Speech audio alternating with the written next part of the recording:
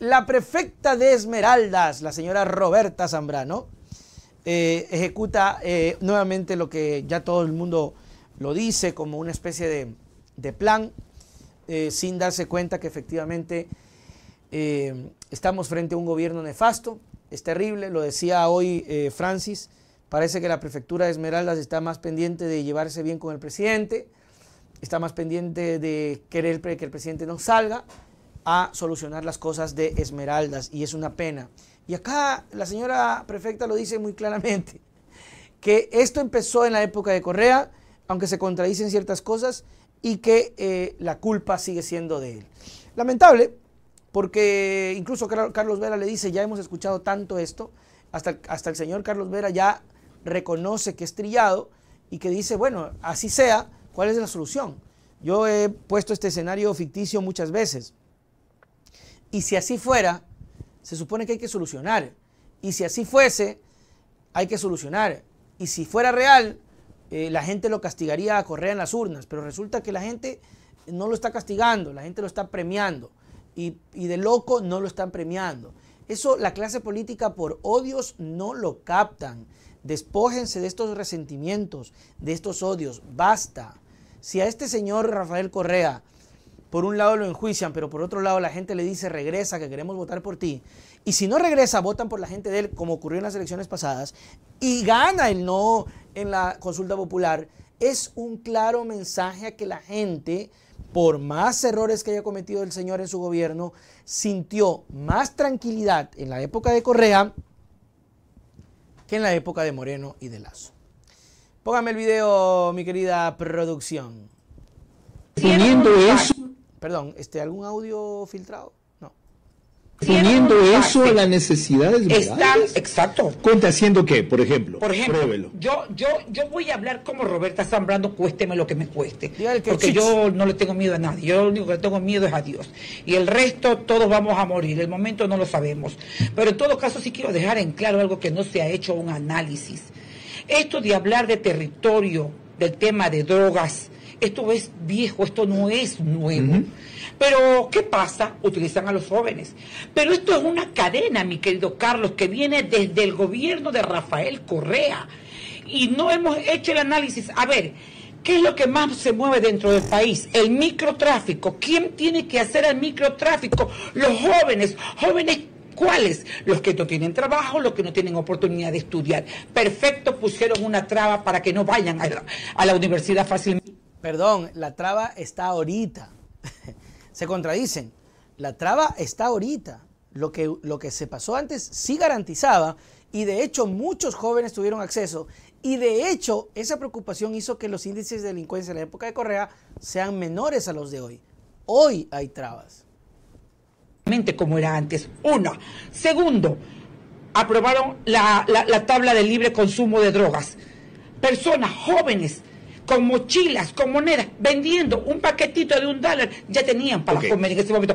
Pero quisiera acabar la idea. Yo de diagnósticos estoy lleno. no, no, no, no, es que todo el mundo está lleno de diagnósticos. Todo el mundo sabe de dónde vino esto, todo el mundo sabe por qué pasa esto, todo el mundo sabe cómo comenzó esto y no saben cómo parar esto. bueno, ahí Carlos Vera tiene razón. o sea, Vera en el fondo sabe. Pero es que no lo quiero reconocer porque me duele. Oh, Anderson, oh, Anderson. Ah. Por cierto, Satírico lo publicamos el domingo. ¿ah? Ya lo publicamos, vayan a verlo. Pero Vera está cansado, está harto. Usted dice, Vera, ya basta, ya sé. ¿Por qué no lo solucionan? Y ahí, pues, Vera dice la verdad. Ya solucionenlo. provincia, ¿Sabe cómo lo van a parar? ¿Sabe cómo lo quieren parar? agudizan más el problema que hay del tema de la droga. Pero ¿quién lo agudizan? Los que quieren el poder de llegar, los que quieren llegar a la presidencia de la República en los próximos dos años. ¿Quiénes? los correístas, pues, papá. Pero los correístas es una corriente política que tiene derecho a participar, como el socialcristianismo, como la izquierda democrática, y la gente decide en votos. ¿Por qué se aferran al tema? Es que los correístas quieren regresar. Pero bueno, regresarán si la gente les da el voto como lo que ha pasado con todas las provincias y ciudades del país en las elecciones pasadas. Pero si regresan es porque algo están haciendo mal ustedes ahorita. ¿De qué habla esta señora? Dice Gabriel, saludos. Gabriel. ¿Quiénes a través de los correístas? Por ejemplo, en su provincia, ¿quiénes borregos? ¿Quiénes son los borregos? Los que dirigen el partido de, Rafael Correa, que agudizan más. ¿Sabe lo que quiere Rafael Correa? Ponernos a los ecuatorianos de rodillas para que imploremos que él regrese. Y que ahí sí va a haber el orden. Porque inclusive hasta los anticorreístas piensan y dicen, oh, no, sí, porque la frase fue bien, bien vendida. Con, con Correa estábamos mejor. Eh, sí, es verdad. La gente que incluso no votaba por Correa, eh, empresarios que no les gustaba que Correa les cobre eh, el impuesto, dicen que Correa estaba mejor porque, porque Correa sí les cobraba más impuestos a la gente que tenía más, a los negocios que tenían más, pero ¿saben qué? prefieren eso a que te cobren hoy un vacunador porque Correa te decía, o la ley o el gobierno te decía, ok, eh, tienes que pagar tanto, o, tienes que, eh, estás obligado, o tienes que cumplir, ¿verdad? Pero sabías que era un Estado, eh, sabías que era algo que si quieres podías impugnar. Pero hoy esos empresarios prefieren mil veces pagar el impuesto al Estado que pagarlo a los delincuentes que no le puede decir que no, o no le va a decir al, vacunador, ñañito, ah, dame una prórroga, o te voy a poner una denuncia. Te matan, te matan, te raptan explotan tu negocio. Entonces, lo que dice la señora es cierto.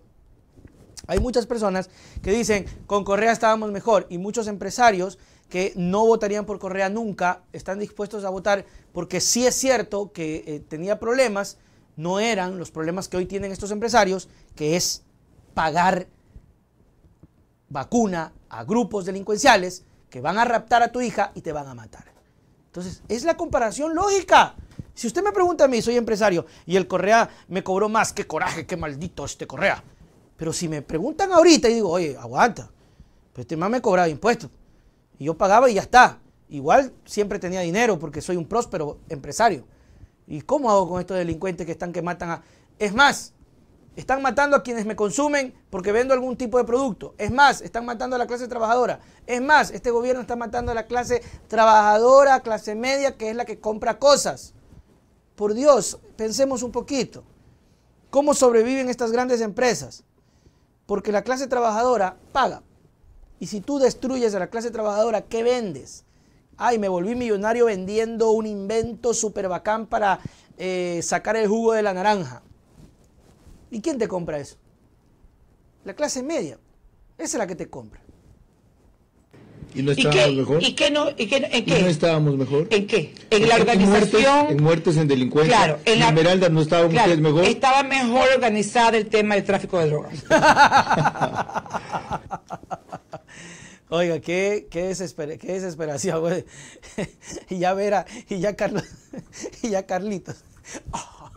ya no tuvo más que tampoco ya, hasta el más mismo a decir, es, es que es verdad, estábamos mejor, estábamos mejor. Oiga, qué bestia. Exacto, Nelson, buena reflexión. Hasta Vera se cansa. Es que ya cansa, ¿no? Está, todos se cansan. Obviamente Vera tiene un libreto y tiene una, un camino y se cansará un día y al día siguiente regresará con que es el culpable y el narco. León Guzmán, saludos desde Nueva York. Gracias Nelson por informarnos. Gracias a ustedes por siempre acolitar, apoyar y no cansarse. ¿no? como algunos que se cansan, que sí, que mucha publicidad, pues se aguantan, porque de, algo hay que vivir.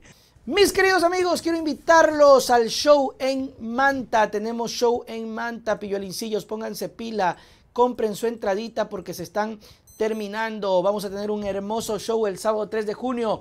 15 dólares, tómele foto, compártalo en sus redes, háganos ese bien, hágale un capture y compártalo. En Manta, 3 de mayo, 15 dólares, 8 de la noche, 098-6398930. Y también estaremos en Guayaquil, por si acaso. Claro que sí. Y en Quito, La Venganza de Mamá. Quito y Guayaquil, Teatros Toledo. En Quito, el sábado 13 de mayo, 15 dólares 5 de la tarde, números en pantalla. Y en Guayaquil, el jueves 11 de mayo, 15 dólares 8 de la noche, ventas en pantalla. Ya saben, mis queridos amigos, tómenle una foto, compártala para que más personas nos puedan comprar. Nos vemos, piolincillos.